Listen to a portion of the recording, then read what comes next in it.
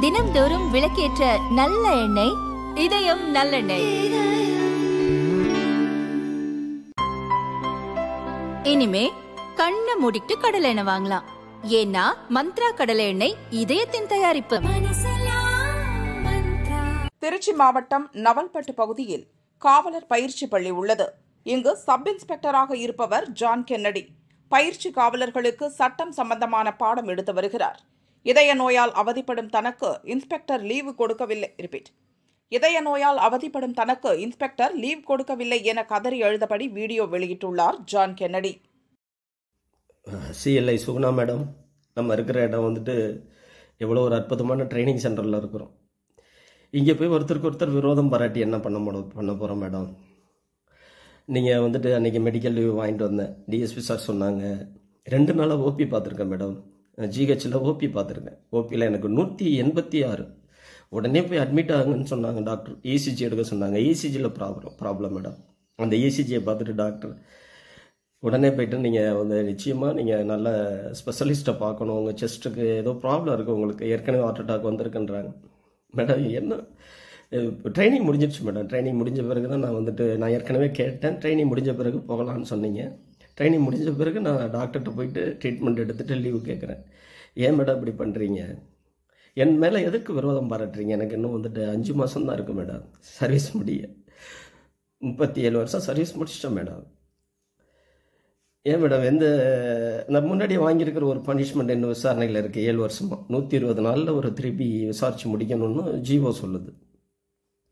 பாருங்கள் மேடம் அதில் நான் ஒழுங்காக ரிட்டையர்ட் ஆகணும் இல்லையான்னு எனக்கு தெரியல. அதற்காக நான் மனசு ரொம்ப கஷ்டப்பட்டு வேதனையில் இருக்கிறேன். வெந்த பொருளில் வேலை பார்த்துருக்கீங்க உங்களுக்கு என்ன நான் துரோகம் செஞ்சேன்? நீங்கள் நல்லா இருக்கணும் மேடம். உங்களுக்காக டெய்லி உங்களுக்காக உங்கள் கணவருக்காக உங்கள் மகனுக்காக உங்கள் மகளுக்காக நான் ஜெபிக்கிறேன் மேடம். தினமும் ஜெபிக்கிறேன். என்னை வேதனைப்படுத்தாதீங்க மேடம். தயவுசெய்து எனக்கு ரொம்ப நான் ஹார்ட் பிரச்சனையில் இருக்கேன். அண்டர் ட்ரீட்மெண்ட்டில் இருக்கேன். முடியல மேடம் ப்ளீஸ் நான் ஒரு நல்ல போலீஸ் மேடம் தமிழ்நாடு காவல்துறை அந்த அளவுக்கு நேசிச்சு மேடம் கடைசி கட்டத்தில் உங்களை மாதிரி ஒரு ஆஃபீஸர்கிட்ட வேலை செய்யக்கூடிய ஒரு பாக்கியத்தை கடவுள் எனக்கு கொடுத்துட்டாரு. நான் உங்களை விரோதம் பாராட்டல. ஆனால் கூட வேலை செய்கிறவங்க கீழே வேலை செய்கிறவங்கள அவங்களோட பிரச்சனை என்ன? பேசுங்க மேடம் கொஞ்சம் சிரிங்க மேடம் இதை தானே நான் அடிக்கடி உங்கள்கிட்ட சொல்கிறேன் ஏன் கடகடு கடை கடை கடை என்னால் முடியல மேடம் ப்ளீஸ் என் மரணத்துக்கு நீங்கள் காரணம் ஆயிடாதீங்க கண்டிப்பாக மேடம் என் மரணத்துக்கு நீங்கள் காரணம் ஆயிடாதீங்க மேடம் நான் ரொம்ப பாவம் மேடம் நான் கடவுளுக்குள்ள. உங்களுக்கு தெரியாது நான் எப்படி வாழ்ந்துட்டுருக்கேன். ஏன் என்ன வேதனை பார்த்து பார்க்குறீங்க? உங்களுக்கு அதனால் என்ன லாபம் மேடம் எப்போ நீங்கள் சொல்லாத நான் கேட்காம இருந்திருக்கேன் மேடம் கொஞ்சம் நான் பே பேசுவேன் மேடம். ஜாலியாக பேசுவேன் உங்கள்ட்ட. அன்னைக்கு கூட நீங்கள் லீவ் கொடுக்கலன்னு மேடம் இது வந்து இன்ஸ்பெக்டராக இருக்க உங்களுக்கு தெரியலையா? இது வந்து medical leave madam. Doctor sanction பண்ணது. நான் ஹாஸ்பிட்டலில் போயிட்டு லீவ் வாங்க போகிறதுக்கு முன்னாடி டிஎஸ்பி சார் உங்களுக்கு மேலதிகாரி எனக்கு அனுமதி கொடுக்குறாரு.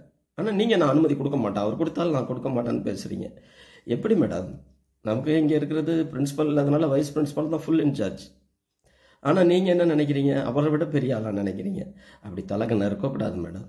நீ வேலை செய்கிற இடத்துல. மற்றவங்களுக்கு அன்பு செய்யுங்க. நான் உங்களை வேலை வாங்க வேண்டாம்னு சொல்லலை. ஆனால் வாங்குற வேலையோ எப்படி இந்த காலகட்டங்களில் கொஞ்சம் அன்பை காட்டி வாங்குங்க மேடம். நீ அதிகாரம் பண்ணுறதுனாலையோ நாங்கள் உங்கள் அடிமை இல்லை மேடம். நான் காவல்துறையில் வேலை பார்க்குறேன். நான் சுகுணாவோட அடிமை கிடையாது.